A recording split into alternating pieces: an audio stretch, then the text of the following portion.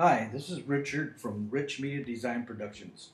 I've been asked many times about how to extract an image or an object from a, from its background using Photoshop.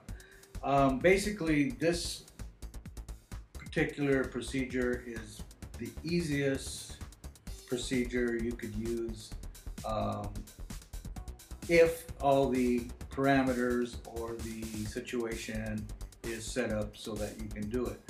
Um, if you're a beginner, this is the perfect tutorial for you. If you're an expert or uh, you know you're you're pretty knowledgeable, this is not the tutorial for you. I'm going to show you how to take a background and replace it with a new one. I've pre-chosen two photographs and I'll bring them up right now. This is the background and Diana, the, uh, the statue of Diana. And if you notice, this has a black background. And I chose this specifically for this tutorial because it actually is the easiest way to uh, to do this extraction. Here we have two contrasting situations here. Diana and then the black background. And to be perfectly honest with you, I am pretty sure that this one was pre-designed uh, to by another uh, uh, Photoshop person and extracted the background with black. Did some touching up down here and um, made it look like it was part of the background. All in all, this was actually a perfect example of something that I could use for this particular tutorial. And all there is to it is you go up here to this third tool, which is called the magic wand. And if you notice, it was already selected. If, if not, it, you would go in here and the uh, menu, pull down menu would uh, allow you to pick it. So there's magic wand tool select it, Go up here and see if the tolerance is at 20. If it's if it's any more than 20, it's too much. If it's less than 20, it's too little. You'll pick up artifacts and you'll see what I'm talking about. So I'll put in 10 on the tolerance and you'll see what I'm talking about when I say that there's some artifacts in the background. If you'll notice, if I zoom in here, the tin is not strong enough to take out every bit of the black. So here you see the artifact that I was talking about. And you see it over here on the right side, uh, possibly in other areas if I move up. Plus I noticed that the uh, edge isn't snug enough. It's actually away from the figure. So what I'm going to do is I'm going to deselect. So go up here, deselect, or you can go to Command D and uh, do the same thing. And I'm going to set this at 10. I go to the magic wand again. I said 10, but I meant 20. So we'll go to 20 and we'll check it again. You notice that it's actually coming in a lot better, no artifacts. It's actually snuggling up to the image a lot better than uh, the other amount did. So I think we can live with that. But I've noticed that down here, it's actually not coming into the piece. Do I want this background to be part of it? Which is, which is actually a flooring or some kind of pedestal for the, uh, for the statue. So um, I'm deciding whether or not I want to keep that. And I would say that I could actually add another part to this tutorial and take you to this lasso. It's called the lasso tool. And we'll pick that if it's not already selected here. It's the, the uh, third one down from your tool list here. And by pressing the option key, you'll notice that a little minus sign will show up. This means that if you select anything by holding down your option key and selecting, it'll include it. So what you want to do is decide whether you want to exclude or include. In this case, I want to exclude. So I undo the lasso tool that I just did up there. And then I press the shift key and becomes a plus. Now I can exclude the background by going down here and just cutting into this picture. I can go actually go out of the picture, back around, and you'll notice that it it is now including that part that I just selected and it is going to include it actually into the background image. So I'll do the same here. I'll kind of give it a floor. Stop there because otherwise I'll lose my control. Go back. Pick up the shadow.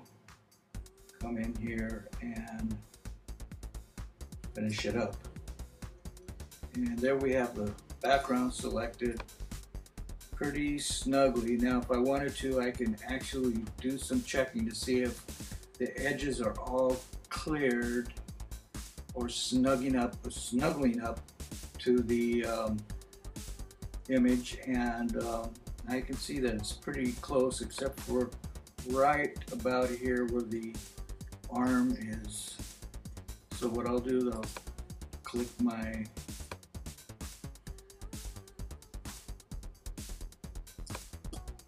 and go back using my shift key go in there and include that part there. Now it's cutting in exactly where I need it to be. There's a little bump here. I can actually shave that off. Gotta get in a little closer. And there you can see it got shaved off. So it's that's pretty close. And for our purpose here, we're doing a good job. Reduce it back down. Now, what do I want to do? Do I want to keep the background or do I want to keep the image? Well, for this particular case, I want to keep the image because I want to take that image and put it into that background that I showed you earlier. Now, here's an interesting thing you can actually take the background and do some other tricks and bring it into this picture, but we don't want to do that. So what I'm going to do for simplicity is to take this image and inverse it, meaning we're going to take those little ants that are traveling around this, this background and make it travel around the image. That means that the image now is selected and not the background. There we have the image being traveled by these little ants in the selection. Now, if I take Command C or on your file menu appears, say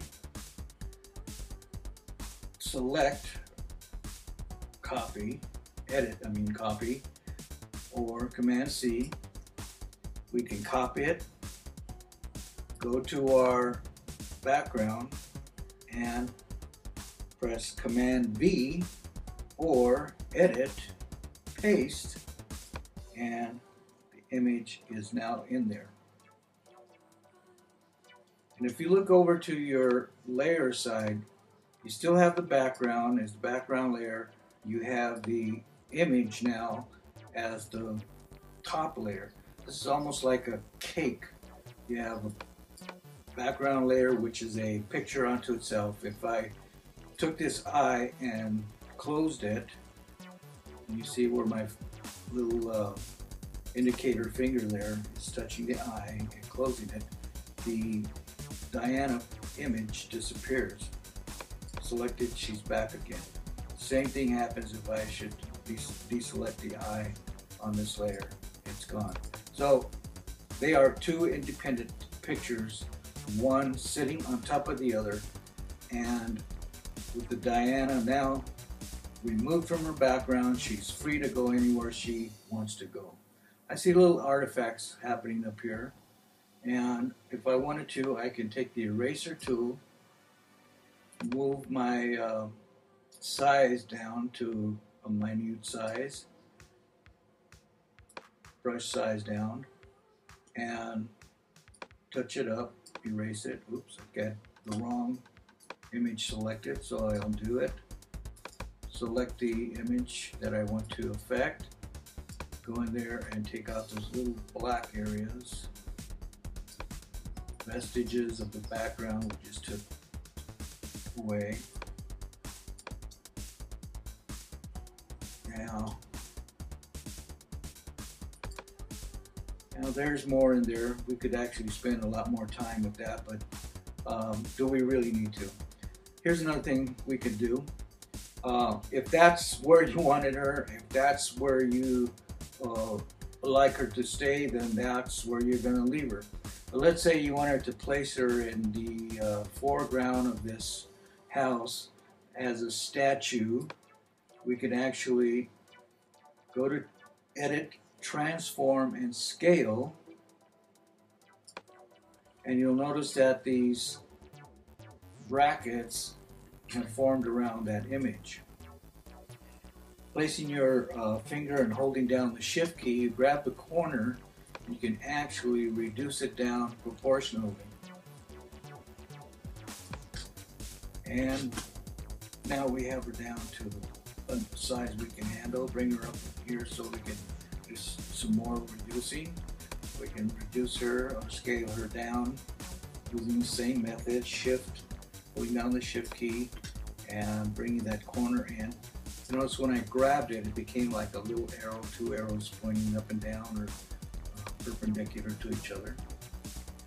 Now I'm taking her down to a scale that might work. And there we have it. Set her down. And now she is a part of the picture as a statue and uh, she's sitting in the foreground, a little more realistic. Uh, I place her on the left because I noticed that it kind of helps balance. Uh, there's a lot of things you can still do, like you can soften the edge of this um, statue, and um, but for this purpose, I think she looks really, really, really good. Um, two things that uh, you, you, might want to know. Um, going back to the Diana here, who's still selected. You can deselect her by going to select, deselect. And um, this image was actually a larger pixeled picture than the the uh, background that we chose to put her in. So uh, when we took her from that image and placed her into this background, it adapted to the actual pixel amount that this background is. So um, there you have it. I thank you for joining me. I hope you got something out of this. For those of you who are a little bit a little bit more experience with Photoshop, um, I would suggest that if you wanted some more in-depth uh, removal or extraction uh, ways from Photoshop, that you uh, go visit www.tutvid.com. That's T-U-T-V-I-D.com. I found them very, very uh, well executed, and topics are very, very uh, important, and they deal a little bit with with the intermediate and expert level. So I would suggest that uh, and recommend that you go to them. Again, thank you for visiting. Hope to see you again.